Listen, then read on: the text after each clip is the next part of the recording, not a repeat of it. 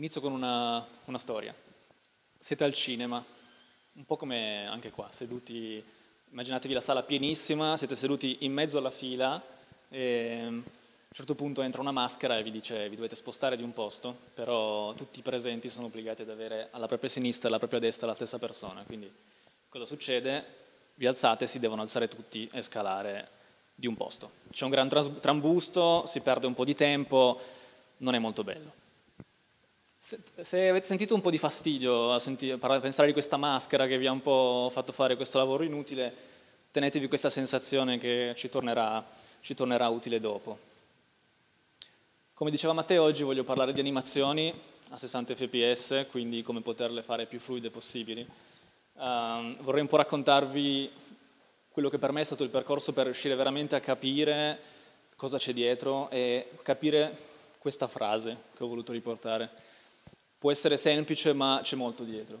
La leggo un attimo. Molte proprietà CSS obbligano il browser a svolgere costose operazioni di calcolo ogni volta che il loro valore cambia.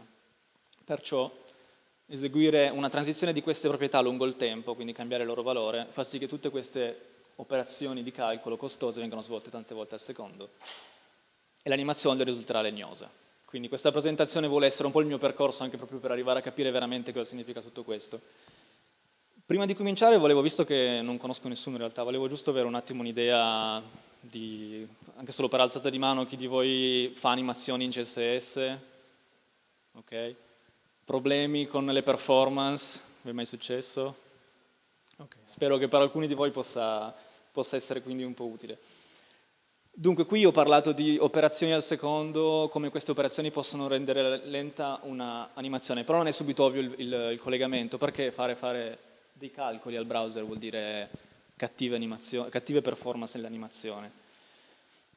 Pensiamoci un attimo di cosa è fatta veramente un'animazione. Abbiamo una serie di frame che si seguono in una, appunto, in una sequenza regolare e che deve essere regolare e costante.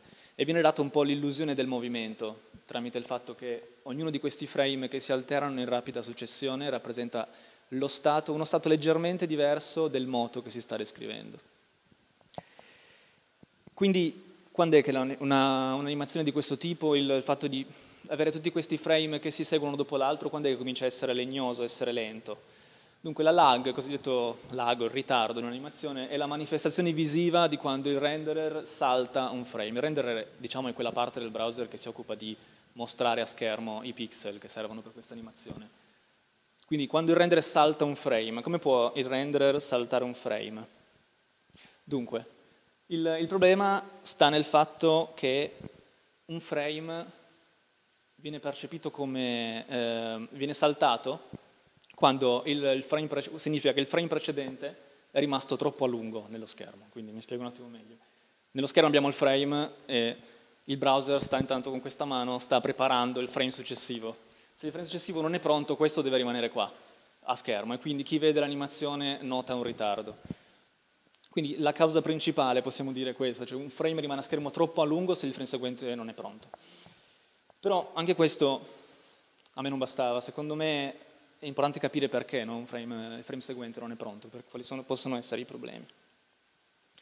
Vorrei un attimo guardare cosa può impegnare il browser, quali possono essere le cause di un frame che è lungo da preparare e quindi, quindi non è pronto. Questa, uh, questa, immagine rappresenta il processo che, che, deve attraversare il browser per preparare un frame. Sono cinque fasi, queste cinque fasi per ogni frame ci devono essere tutte cinque, alcune sono costose e ognuna di queste cinque fasi può avere dei ritardi ed è per questo che il frame facilmente, se c'è una soltanto di queste troppo lunga, facilmente il frame può essere lungo e l'altro deve rimanere qua troppo a lungo. Le vorrei vedere una per una. Dunque la fase di JavaScript è cui, la prima fase di un, di un frame, quella in cui viene eseguito eh, il codice del vostro programma JavaScript. Come, come sappiamo eh, c'è un thread solo diciamo, che si occupa di queste cose, quindi se, il, vostro, se questo, il main thread è impegnato a eseguire il vostro programma facilmente si salterà il frame perché non può fare altro il thread. Le due fasi che seguono sono quella di style e layout. La prima Durante la prima fase il browser è costretto, deve calcolare tutti gli stili, quindi se ad esempio nella fase precedente nel JavaScript abbiamo aggiunto una classe, CSS ad un elemento, il browser dovrà calcolare di nuovo tutti gli stili, se sono aggiunte tante è un grande lavoro.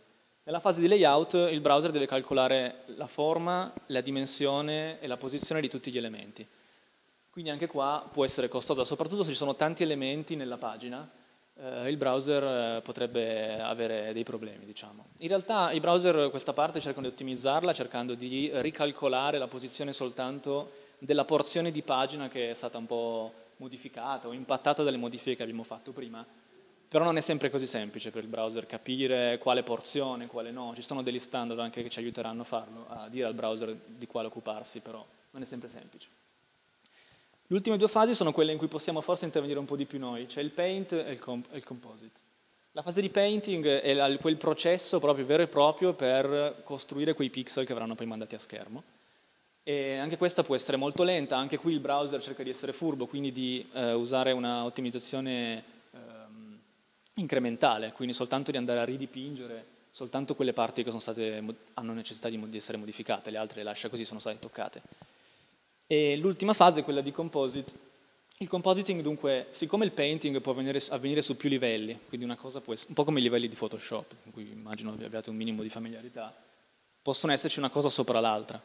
Prima di però, però, di mandare l'immagine a schermo, il browser deve schiacciare questi livelli in un'immagine sola, in modo che possa essere mandata poi a schermo. Deve farlo nell'ordine giusto, quindi quello che è davanti deve rimanere davanti quando poi sono stati schiacciati in un'unica immagine. Io direi che qua possiamo riprendere quella sensazione con cui avevamo cominciato, il cinema.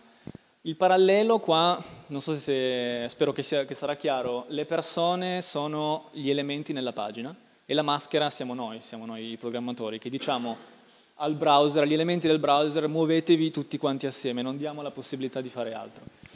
Perché se ci pensiamo la soluzione è semplice, la persona potrebbe alzarsi dalla sedia e passare davanti alla fila, giusto? Non, dovrebbe, non bisognerebbe far spostare tutti quanti. E questo è esattamente ciò che ci serve fare nel browser. Noi ci serve la possibilità di avere due livelli, come abbiamo detto prima, successi, eh, diversi. La persona che si è alzata diciamo, rappresenta il livello più avanti e se noi avessimo questa possibilità, se l'elemento che si, dove, si deve muovere fosse in un suo livello, potremmo muovere solo il livello senza dover spostare tutto il resto. Per capire un po' meglio ho rubato vergognosamente questa, questa immagine dell'articolo che però ho segnalato sotto, che è molto, molto, interessante. A e B sono due livelli e si vede come B rimane diciamo, eh, fermo, non c'è bisogno di toccarlo, mentre A lo si può muovere. Quindi l'unico lavoro da fare è quello di muovere A e poi rischiacciare, rifare il compositing, ricreare l'immagine nuova in cui i livelli sono stati schiacciati in un'immagine sola. La fase di compositing è quella che noi diciamo, dobbiamo cercare di ripetere il più possibile. Questo perché ci manca un ultimo tassello diciamo, per capire eh, come, come, fare a fare tutte queste ottimizzazioni. Dobbiamo ehm, trovare delle proprietà CSS, o meglio, dobbiamo cercare di utilizzare quelle proprietà CSS che richiedono soltanto la fase di compositing. Quindi vorrei tornare un attimo a questa slide.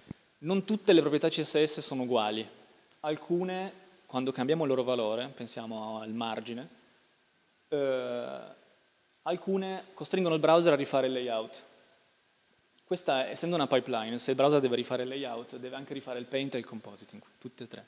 Alcune proprietà costringono solo a fare il paint, come, non sono sicuro, ma penso un cambio, di, un cambio di colore. Se si cambia il colore bisogna rifare il paint e quindi anche il compositing.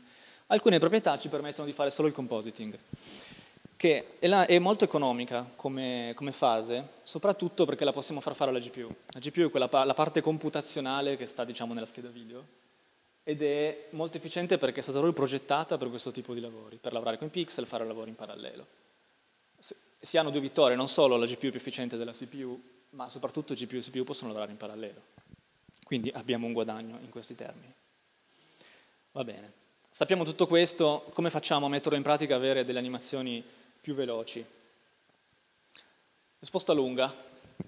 Andiamo su questo sito, csstriggers.com. Questo sito contiene per ogni proprietà CSS, vi dice quali di quelle fasi del frame vengono, devono essere rieseguite dal browser. Questo ci serve come riferimento per dire, se siamo in dubbio, quale eh, conseguenza diciamo, avrà animare questa data proprietà. Posso animare la larghezza di un elemento, posso animare il colore.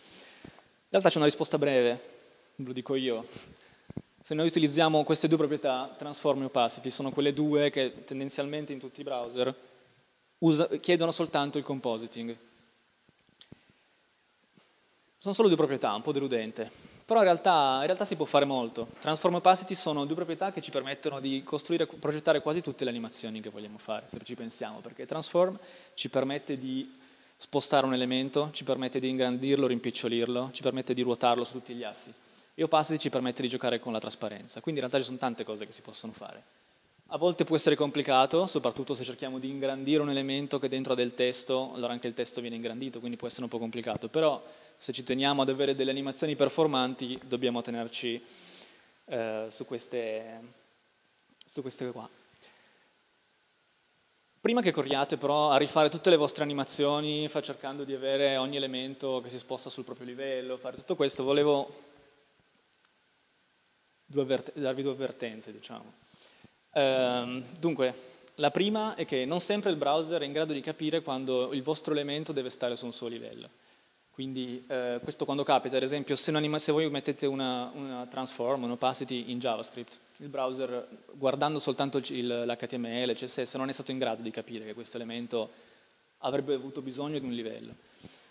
Per fortuna abbiamo in soccorso uno standard nuovo, prima si faceva magari con degli hack diversi, questa proprietà will change si può specificare transform, opacity o altre, altre cose. Andiamo a dire al browser, caro browser, questo elemento subirà una, una transizione su questa proprietà. E il browser quindi può agire di conseguenza, può fare il lavoro che deve fare, può ottimizzare, può metterlo nel suo livello. C'è però un problema. Ogni livello ha un costo. Quindi prima di dire, mettere ogni elemento a un proprio livello e eh, sperare che tutto vada per il meglio, bisogna considerare questo. Eh, soprattutto in termini di memoria, il browser ha da fare parecchio lavoro, deve, deve, caricare tante cose in memoria per costruire un livello. Quindi se tutti gli elementi in pagina hanno il proprio livello, cominciamo ad avere un problema, soprattutto appunto di memoria. Per questo consiglio l'articolo eh, da cui avevo rubato quella GIF animata, perché lì è spiegato molto bene. Questa, questa, presentazione è stata piuttosto breve, ma spero che vi abbia dato eh, quantomeno la curiosità e lo stimolo per approfondire un po' di più eh, tutto ciò che c'è dietro, anche perché io ho cercato di eh, essere breve, non dilungarmi in cose ma, di cui magari non sono neanche un esperto, però si apre tutto un mondo per, essere, per stare dietro a, a questo. Quindi io ci tenevo a lasciarvi un paio di, di cose da, da leggervi, da, da, approfondire nel caso foste interessati. E, mm, in realtà non c'è bisogno che le copiate, vi distribuisco, le stampate, ve le distribuisco così nessun problema. E vi ringrazio per l'attenzione, se vogliamo fare un giro di domande poi... Ok, per misurare un po' la performance in animazione, per capire se questa animazione, al di là della percezione visiva, se va bene. Allora, io direi che la misura più, più utile in questi casi è guardare i frame, i frame al secondo, no? gli FPS. Eh, dobbiamo cercare di stare sui 60, si possono accettare anche i 30, c'è un dibattito anche a riguardo, eh, quindi bisogna misurare i frame per secondo. Per farlo io utilizzo eh, gli strumenti degli sviluppatori di Chrome. C'è, il pannello timeline, non so, magari posso provare a farlo vedere sulla timeline tu hai la possibilità di registrare queste cose qua. Allora, Adesso si chiama performance, giusto? Hanno cambiato il nome. Tu puoi avviare una registrazione da qua, poi una volta avviata puoi far partire l'animazione o anche solo provare a fare lo scroll, eh, eccetera. Adesso vediamo un po'. Quando interrompi ti verranno date queste, tra le varie informazioni anche i frame al secondo che sono queste barrette verdi ci sono, se non mi sbaglio, sono queste barrette verdi qua ti indicano il frame, quindi più, più alto è più dovrebbe essere eh, eh, buona. Quando trovi delle, delle, indicazioni rosse lì, in realtà quella lì non sono sicuro se è quella giusta, però eh, le trovi anche qua, che adesso ti spiego cosa sono. Eh, le barrette rosse indi indicano che probabilmente lì c'è stato un frame troppo lungo, quindi il browser pensa che lì sia stato un problema. Queste barrette verdi qua indicano i frame nuovamente, però te le mette in relazione al codice che è stato eseguito. Adesso non so se hai familiarità con uh, questo strumento, però quindi quello direi che è uno strumento importante. Eh, un'altra cosa che si può fare, che personalmente io lo trovo più efficace, anche se, se vogliamo è meno preciso, se vai sul pannello eh, rendering, puoi abilitare paint flashing. Questa cosa qua, allora, vediamo se riesco a farlo vedere, dovrebbe, eh, purtroppo in questo sito Ok, si vede più o meno qua. Ti fa vedere in verde le cose che sono, hanno dovuto riavere il painting, hanno dovuto subire un painting nuovamente.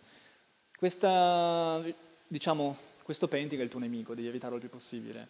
Se, se durante un'animazione tu vedi tutto verde, quindi non so, fai entrare un menu da sinistra, il menu è verde mentre si muove, vuol dire che il browser ad ogni frame lo, lo deve dipingere, lo deve fare di nuovo il painting. Mm, si evita facilmente se gli, eh, fai quella cosa di cui ho parlato, cerchi di, di promuoverlo a, a, livello, quindi quando c'è cioè il livello abbiamo visto non devi rifare il painting, devi solo rifare il compositing, giusto? Quindi eh, non lo vedrai verde. Io utilizzo, è un po' una scorciatoia in realtà perché non ti dà un'informazione su è fluido o non è fluido, ti dice guarda che sta rifacendo il painting ogni volta che fai un'animazione, quindi probabilmente, magari sul computer la vedi bene, ma se su un telefono può essere, può essere legnoso. Non so se qualcuno ha qualcosa, qualche metodo migliore per rispondere alla domanda. Io avrei un'altra domanda. La, la dichiarazione, quella che prima hai chiamato dichiarazione di intenti al browser will change, mm. eh, esattamente che cos'è? Ci puoi parlare un po' più Sì, allora will change è uno standard CSS, una proprietà relativamente nuova, che dice al browser eh, l'elemento a cui è dato questa proprietà eh, subirà un cambiamento nel valore della proprietà che indichi. Quindi se dici will change transform, stai dicendo al browser guarda che transform avrà un cambiamento. E questo è eh, il suggerimento di cui ha bisogno il browser per capire se deve eh, promuovere a livello questo elemento. Se tu gli dici guarda che ci sarà un cambiamento nell'opacity, il browser dice ok, allora mi faccio furbo, lo metto nella, nel suo livello. E questo è un po' l'utilizzo. Sì, esatto, esatto. Una cosa che puoi fare se hai tanti elementi che si muovono, eh, come dicevo prima, mettere, avere tanti livelli può essere costoso. Quindi se hai tanti elementi che si muovono, invece di mettere tutti quanti will change, lato JavaScript, prima dell'animazione gli metti will change, quindi il browser ha modo di capire che questo avrà, lo mette su un livello, e poi fai l'animazione. In questo caso però ci sono altri problemi, perché se tu metti will change all'elemento, in realtà il browser deve aspettare, di rifare, deve aspettare il prossimo frame per rendersi conto, perché se ti ricordi deve ancora esserci poi la, il calcolo degli stili. Quindi in questo caso dovresti fare una request animation frame, dovresti chiedere al browser di aspettare il frame successivo. Io volevo chiedere qualcosa sui frame per secondo.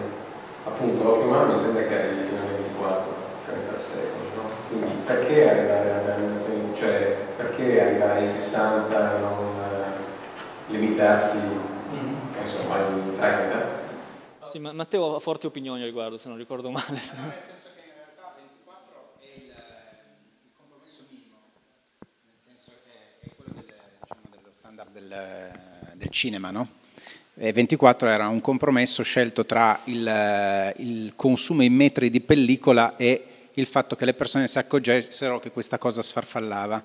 Hanno trovato quel punto lì e hanno detto 24 va bene, di più sprechiamo pellicola, di meno se ne accorgono. E quindi è proprio una valutazione diciamo, molto opportunistica.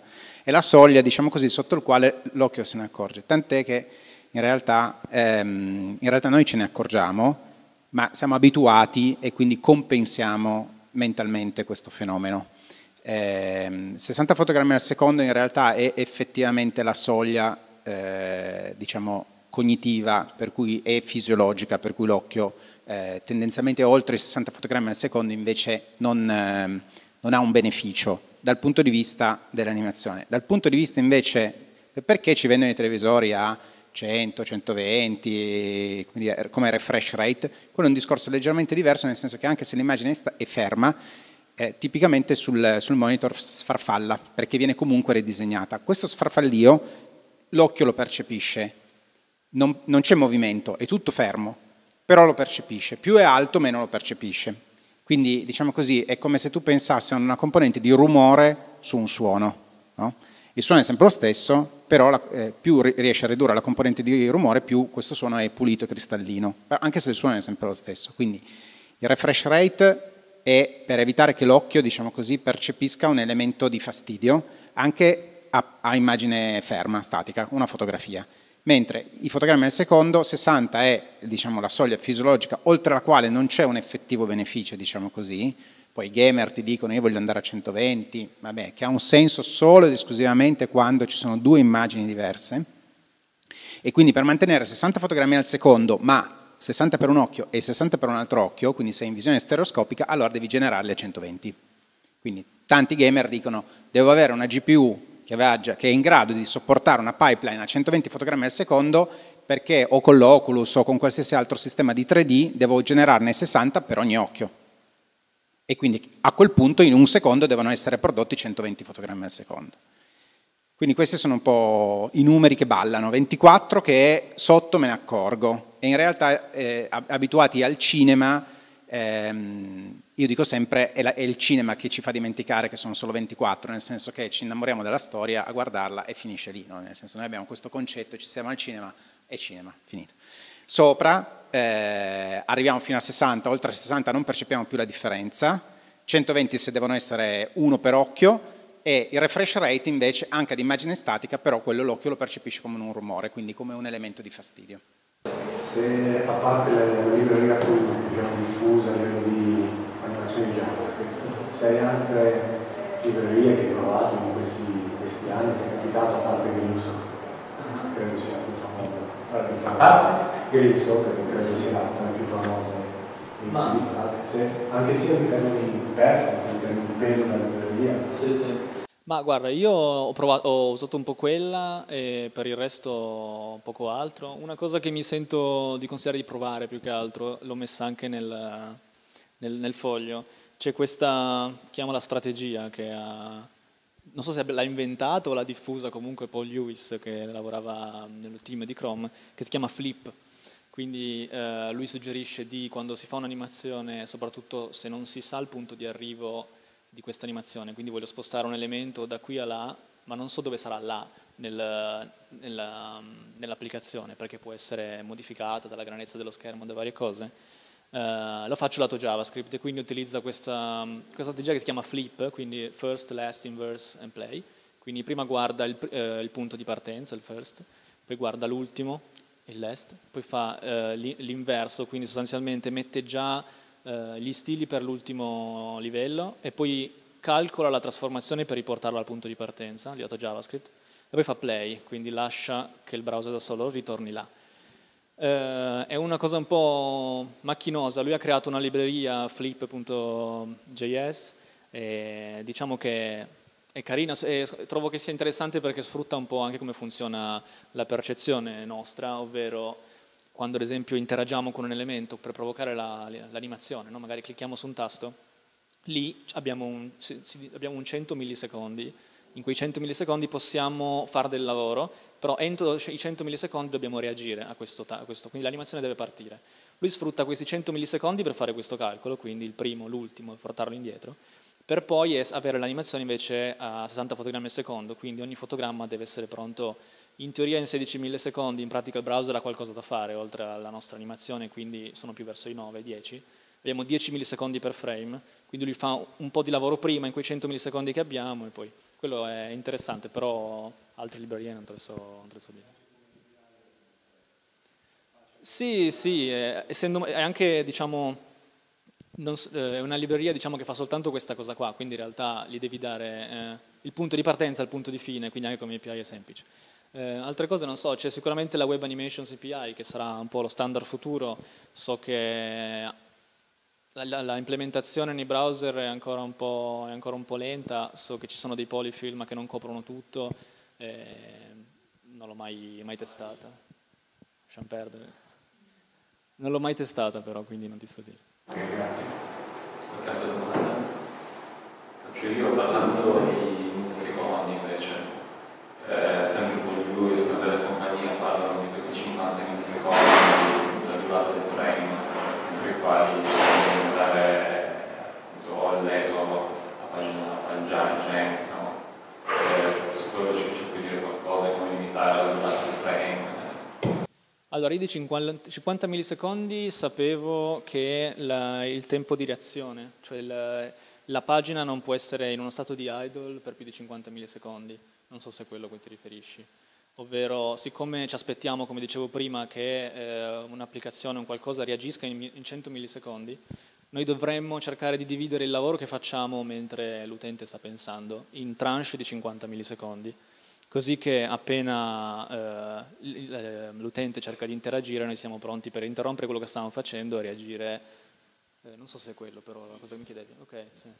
Sì, quello fa parte del modello Rail, sì. eh, è stato studiato, diciamo, eh, appunto come dicevo prima, i tempi di reazioni che ci aspettiamo, ci aspettiamo in modo che non venga percepito come un ritardo eccessivo, ci aspettiamo che il caricamento eh, avvenga in un secondo il, la risposta al, dire, al, tatto, eccetera, sono 100 millisecondi, abbiamo il tempo di idle, che è il tempo in cui un'applicazione potrebbe cercare di fare qualcosa appunto mentre l'utente è nulla facente, è in idle, che sono 50 millisecondi, e l'animazione invece che deve avere ogni frame composto da 16 millisecondi. Il Rail sarebbe Response Animation, Idle and Loading, sono questo framework che hanno un po' studiato, un po' come riferimento, per, poi ogni caso è a sé, cioè non dobbiamo per forza stare in, quelle, in, quattro, in questi quattro numeri altrimenti tanto vale che non lo facciamo.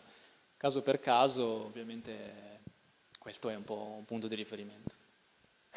Grazie, sì, slide io pensavo c'era data frame, ma io non ho letto l'articolo. Invece quando parliamo di device low profile, che hanno maggior delle persone che hanno un telefono, eh, delle navi dati che abbiamo noi, perché c'è, una coda lunghissima di device molto, molto scarsi, con quindi CPU eh, quattro volte più lente del, del computer, e lì cosa sarebbe meglio fare? Magari passare alle dimensioni CSS, piuttosto che evitare JavaScript Ma io leggevo da, non so se uno dei creatori o chi contribuisce a GreenSock, la libreria che hai menzionato tu prima, che in realtà loro non hanno visto tutta questa differenza tra un'animazione fatta lato JavaScript e un'animazione fatta lato CSS. Io non ho mai fatto test. Sì, hanno fatto dei, dei benchmark, io non, non, ho mai testato, quindi mi fido un po' di quello che dicono. Su telefoni poco potenti in realtà la cosa che un po' ci, ci rovina rispetto alle, alle, applicazioni native è che... Ehm, quando, che il, il, il, sistema operativo non ottimizza per una reazione dell'utente sul browser. Quindi eh, diciamo che i, nostri, i core della, del processore di un telefono eh, vengono spenti il più possibile quando siamo, siamo lì che stiamo leggendo una pagina. Quindi quando c'è un'interazione c'è un attimo in cui il sistema operativo deve far ripartire i processori perché deve risparmiare batteria ovviamente. Quindi nei, nei telefoni meno potenti con poca batteria questa ottimizzazione è all'estremo e quindi in realtà quando vuoi fare un'animazione che, eh, come in molti casi, è in risposta ad un evento dell'utente, eh, in realtà c'è poco da fare, devi cercare di avere poche animazioni, pochi livelli, quel livello deve essere appunto separato e cercare di fare il, il possibile. Sì, forse l'argomento proprio il perché fare le animazioni, che è un po' al di fuori anche della questione performance, cioè se c'è uno scopo, un'animazione come nel caso del cambio di stato, sono le micro interazioni su faccia dell'utente piuttosto che conversation di UI, allora magari ha senso, però se è tanto per fare il sito figo, eh, allora è proprio un un'altra cosa differente, quindi vai giù proprio di... Sì, esatto. Siti quelli creativi, one page, sono penso quelli peggiori, no? Perché anche durante lo scroll c'è l'animazione ripeto, giusto? Se tu fai scroll della pagina, alcuni elementi vengono del browser, sì, sì, invece se tu ruoti lo schermo del device? Eh, se non lo so. Eh, se c'è il repaint, se c'è... Dipende se cambia il viewport, in realtà. E il viewport cambia perché se il sito response, per esempio, fai valutazione. Secondo me c'è un repaint, però non ho tutto lì veramente come ipotesi. Qualcuno lo sa.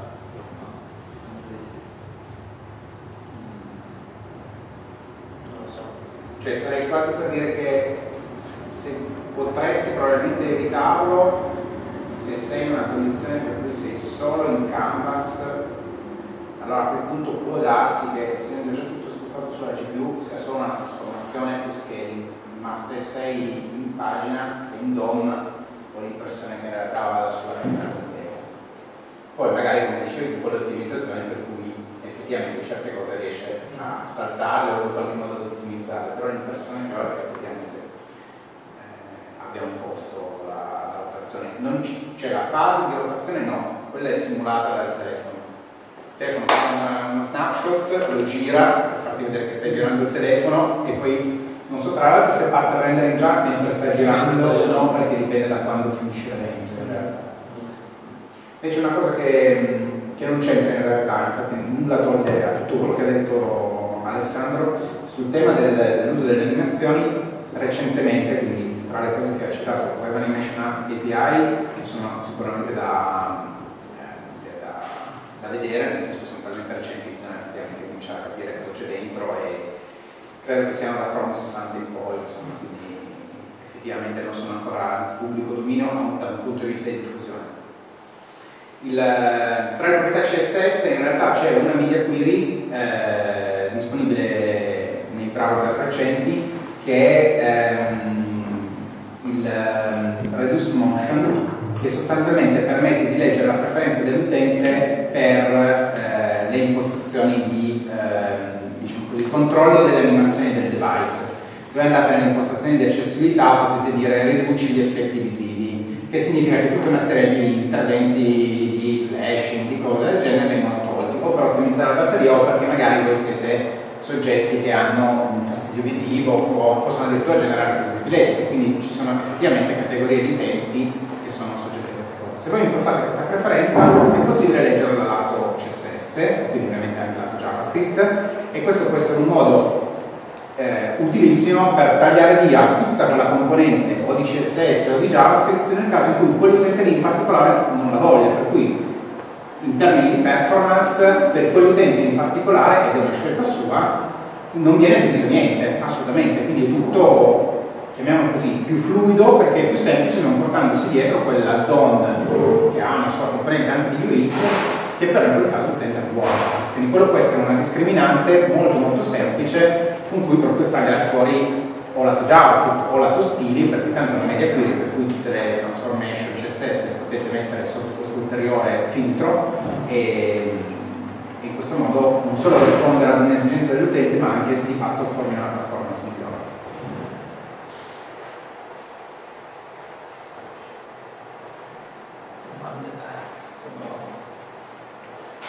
Io provo a farne una. Allora, io sto studiando, sto studiando in questo momento lato back-end, diciamo, però più che altro. C'è qualche accorgimento appunto lato back-end per venire incontro a queste necessità, diciamo, di animazione? Si fanno tutte le altre front-end, quindi chi se ne importa di quello che come siamo arrivati qui? Io direi che la seconda, è un'animazione che viene attivata dall'utente dal tuo contenuto, quindi viene svolta tutta dall'utente, non c'è niente che ci sia. L'unica, l'unica cosa, scusa, che, che si fa, diciamo, quasi back-end, eh, quando c'è eh, leasing, cioè la- l'animazione non viene fatta in modo lineare, ma ad esempio parte lenta poi veloce, e vuoi usare una strategia come quella, dicevo prima, di flip, quindi vuoi, vuoi invertirla lato JavaScript, è un po' casino calcolare leasing al contrario, quindi dovresti calcolarti le trasformazioni lato back-end e è complicato, non l'ho mai fatto, però è l'unico caso che mi viene in mente in cui si fa qualcosa lato back-end, si fa tutte le trasformazioni prima e si mettono lì. Altro non so. Invece un'altra domanda che mi sorge adesso.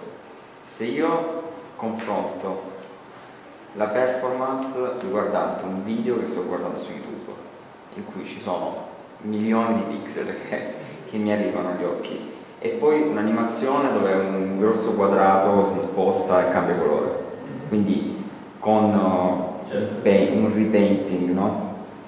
Come mai il quadrato si blocca e il video invece anche fino a 4K sul mio telefono?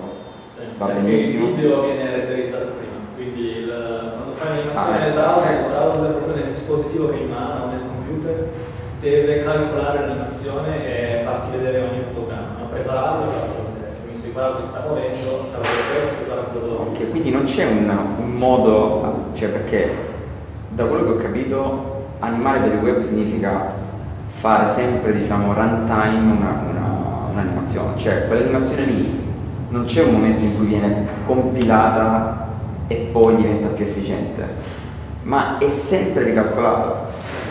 Praticamente ogni volta che si faccia play si scorda del momento prima. Quindi Non è sarebbe interessante so futuro. Ma non so se ci siano dei modi, forse so che ci sono degli esperimenti, adesso mi sfugge il nome, eh, che stanno lavorando per eh, poter eh, agire un po' di più su diciamo, il livello sottostante nel browser. Perché non so se a quel modo tu possa calcolare tutti questi frame prima e non doverli calcolare di volta in volta. Però il punto è che in una pagina spesso ci sono tante cose che si muovono, quindi il browser comunque è difficile che tu possa come fare un film prima di quello che succederà, dipende da, da molte cose, da cosa c'è scritto, se ci sono degli art, se c'è se c'è Sì, la differenza anche che un video è un file binario, quindi è un file appunto che viene proiettato in streaming, e invece il web sono diversi pezzi e sono interattivi, il video non è interattivo. Quindi tutto il video, sai, se lo vedi nel browser, se lo vedi full screen, ovviamente non ma se lo vedi nel browser devi pensare che il browser isola quel pezzo del video, dici io di questo non so niente. Lo prende, lo delega al decoder video, che di solito è in hardware, nel senso che è nella GPU, soprattutto Ah, se è è in da questo. H264, H265 è in GPU. E la GPU ha una pipeline diretta su quella porzione di video, cioè il browser si occupa di tutto il resto e dice lì c'è un buco nero, te ne occupi tu, io al massimo ti mando i comandi per dirti play, stop, eh. Ma quella roba lì non è gestita dal browser, è fuori dalla pipeline rendering del browser. Ci sono invece per quello che allora, non è particolarmente diciamo così efficiente eh, pre-renderizzare un'animazione, a meno che non faccia un video ovviamente. Ci possono essere dei casi invece in cui può avere senso. Ehm, per esempio nei giochi ci sono gli stacchi, cioè nel senso tu hai una sequenza e poi hai un pezzo che unisce una sequenza con un'altra sequenza, quel pezzo lì può essere fatto sulla base delle condizioni diciamo di gioco, quindi non è un video, ma è da questa sequenza, da questo pezzo di gioco qua passiamo a un'altra scena, il raccordo lo renderizziamo perché è mai basato sulle condizioni in cui lo stai giocando tu, è notte, giorno, c'ho le armate, non c'ho le armate, non lo so, qualunque cosa possa essere. Quella cosa lì si può ovviamente fare anche lato browser, ovviamente utilizzando però delle tecnologie molto simili a quelle che utilizzeresti se sviluppassi. Quindi in Canvas con ehm, OpenGL, quindi eh, il, diciamo, la versione di OpenGL che è un linguaggio di descrizione 2D e 3D per, eh, per diciamo, disegnare o comporre qualunque cosa, compreso texture grafiche come possono essere immagini, modelli 3D con applicati sopra delle texture e così via, tu puoi di fatto pre-renderizzare una sequenza e a quel punto eh, diciamo sostanzialmente ottimizzarla se è particolarmente onerosa perché parti da appunto magari una, una componente 3D però parametrizzata su quello che è lo stato dell'utente in quel momento. Però è un caso veramente molto molto molto particolare quando si applica a quello che possono essere condizioni di pagina. Se tu, se tu guardi il web experiment di Google ci sono diverse cose che sono fatte in questo modo, nel senso che e tra l'altro le cose interessanti sono che ti fregano molto, nel senso che ci sono dei pezzi fatti così e tutti gli altri magari fatti invece in tecnologia tradizionale, cioè in DOM con transformation e, e componenti diciamo di pipeline tradizionali. Però quella è l'altra cosa. L'ultima cosa che citava Alessandro è WebAssembly, cioè possibilità di eh, compilare del JavaScript e farlo eseguire a basso. Quindi diciamo così, eh, parallelo alla pipeline di rendering del browser, o comunque diciamo negli internals del browser. Però anche applicazioni da un punto cioè o fai appunto mh, applicazioni veramente molto molto intensive eh, e le uniche che mi possono venire in mente in questo momento sono appunto se fai AR o VR nel browser e di nuovo quindi ricadi sulla parte di WebGL, però anche tutta la parte di calcolo delle condizioni o gestione per esempio dell'EZ lo devi fare dato JavaScript, allora a quel punto ha senso che la componente lì sia compilata perché effettivamente se riesci a scendere di un livello Tra l'altro non ci avevo pensato realtà basta, mi stavo pensando all'Udini, Ah. che è sempre una nuova cosa che stanno cercando di aggiungere, però non- purtroppo non mi ricordo i dettagli di questa cosa, solo che ho sentito qualcuno che diceva sarà molto utile perché permetterà al sviluppatore di diciamo, avere qualche parola anche lui su quello che succede a livello più basso, a livello grafico, però non mi ricordo, è stato pensato. Quindi nel caso di un'animazione creata con una libreria JavaScript dentro un canvas, tipo Easer.js per esempio, non viene comunque pre-renderizzata, viene comunque calcolata al momento iniziale. Ma che sappia in Canvas avere più modi di fare rendering, non c'è quello che fa la modalità immediata, la modalità che quindi non ricordo il nome. Se fai quella immediata penso che ogni volta venga renderizzata, però a quel punto non è così costoso, il Canvas è molto, molto più vicino a eh, quel tipo di, di pipeline. Eh, Si dedica sì, sì, pr- pr- praticamente quando, nel canvas tu puoi lavorare proprio su ogni singolo pixel del canvas e decidere cosa mettere e cosa non mettere e è più veloce, ma hai tutti questi problemi, perché il problema, de- per come lo capisco io il problema di fare un'animazione sulla su pagina è che questi elementi che noi muoviamo sono interattivi, hanno un sacco di proprietà e quindi bisogna portarseli dietro, molto spesso un elemento, a meno che non lo provi a livello, come spiegavo, ogni elemento uno è sopra l'altro, quindi se ne sposti uno devi spostare anche tutti quelli sotto, comincia a diventare molto pesante. Invece sul canvas è proprio come se stessi disegnando su una porzione che è assegnata a disegno, non ci si può fare niente tendenzialmente, cioè o meglio, puoi lavorarci, se, anche solo ti il click col mouse sopra a una cosa che tu hai disegnato con canvas, non c'è l'evento click come se fosse un DOM, ma devi andare a vedere in quale pixel hai cliccato, cercare di capire su cosa si sovrappone quel, quel pixel per cosa rappresentare, un tasto, una Però a cosa. livello di performance eh, Io so, so che è molto più veloce, ma c'è un canvas interattivo piuttosto che invece interagire con un elemento. e- no, è più veloce assolutamente, è molto più complicato farlo e rischi di doverti reinventare tutto ciò che i browser hanno fatto negli ultimi anni. E poi è un casino di accessibilità. Eh, esatto, cioè nel senso che se tu hai una pagina, devi animare elementi di pagina, la pagina è eh, leggibile da un motore di ricerca, quindi velocizzabile, supporta l'accessibilità lato, lato utente, quindi posso aumentare le dimensioni dei caratteri se non vedo bene, cioè puoi fare tutto quello che vuoi, e magari anche responsive, quindi sta su un- uno schermo come per proiettare piuttosto che sul device, se sei in canvas devi fare tutto tu, ma tutto. Queste librerie stanno- gestiscono anche la il responsive, cioè stanno iniziando a cercare di, di usare dei canvas diciamo che, che- erano comunque Sì, tutto sta diciamo la, la- la finalità con cui, cioè per, per che cosa lo, lo vuoi utilizzare, anche Flash, infatti Flash è un canvas, Eh, sì. però ti devi, eh beh ragazzi, quello. Però comunque se ti interessa eh, Flipboard, mi pare si chiami, la- l'applicazione quella per leggere le notizie, loro hanno fatto delle- dei componenti animati per cambiare da una notizia all'altra, l'hanno fatto tutto in Canvas. Hanno sviluppare diciamo, un livello intermedio tra eh, l'applicazione che loro scrivono penso in React e eh, la parte diciamo, di, di rendering. In mezzo hanno messo una cosa che traduce tutte queste cose in un Canvas. E avevo letto un articolo in cui dicevano che è stato un un incubo, però se te lo cerchi sicuramente eh, spiegheranno molto bene cosa hanno trovato di positivo e di negativo. Io ho usato un po' Animate della Doc, che è successo di Flash, e non capivo se era una cosa che si poteva in quel modo sfruttare o... È come se tu entrassi in un nuovo dominio completamente diverso, con il canvas.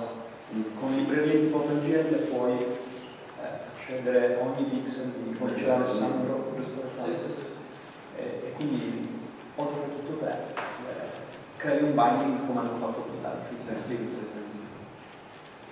Poi penso che bisogna anche dare in considerazione però le performance di caricamento, che oggi abbiamo parlato di runtime, Certo, sì. però prima anche su accessibilità di tutto il sito io non riesco nemmeno ad accederci perché ci mette 10-15 secondi a caricarsi, non è emozione da vedere nemmeno mai, quindi soprattutto su device di basso profilo, che la maggior parte delle persone, almeno in Italia, abbiamo molti dati che lo confermano, eh, milioni di sessioni di traffico. Quindi prima di pensare alle animazioni runtime bisogna pensare